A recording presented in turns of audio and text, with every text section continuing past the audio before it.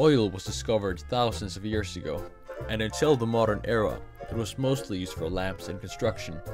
The Chinese made the first oil wells about 2400 years ago, though the modern history of oil started in 1847, when James Young noticed the petroleum seepage in the Riddings coal mine. He distilled the oil, getting a light thin oil used for lamps, and a thick oil for lubrication. Young experimented further with the coal, and in 1850 he distilled an early form of petroleum. The same year, Young formed a partnership with Edward William Binney, and together they made the first fully commercial oil refinery in the world. The value of oil spiked in 1859 when petroleum was discovered in Titusville. This new and easy source of oil made oil-dependent machinery not only way cheaper, but also way more lucrative. The 20th century brought a new wave of industry and machinery. Cars, tankers, tanks, planes, machines, and war. All needing oil to function.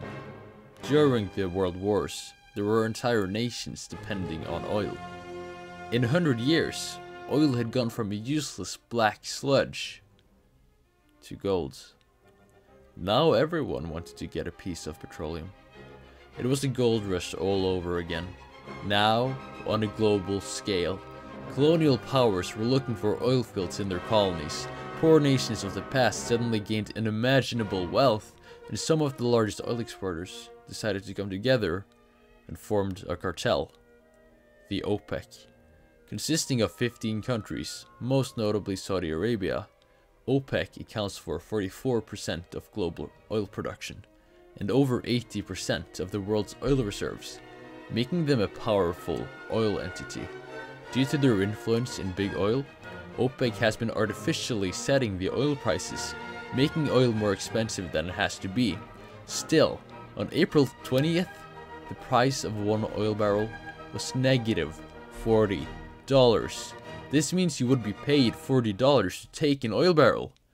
And this is because of OPEC Plus, another oil cartel composed of 10 smaller oil exporting countries, mainly Russia and Mexico. But how did this happen? The supply and demand dynamic is what determines the value and price of a product.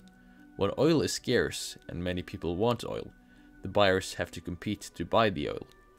The buyers who can pay the most for the product get to buy it, and the price is pushed up. This is why gold is so expensive. It's a rare metal that everyone wants. On the other side of the spectrum, there's plastic. Since there is an almost endless supply of plastic, it's cheap. Instead of the buyers competing to buy the product, the sellers have to compete to sell their product. This leads to them lowering their prices, and plastic becomes cheap. It's the same for oil.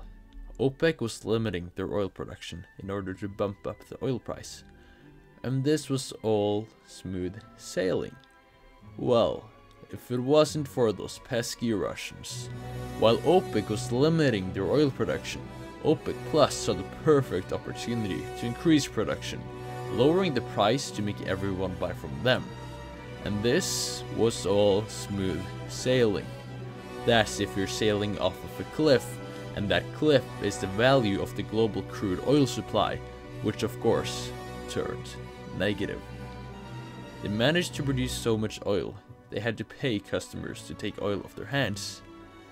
As of writing, the oil price per barrel is $83.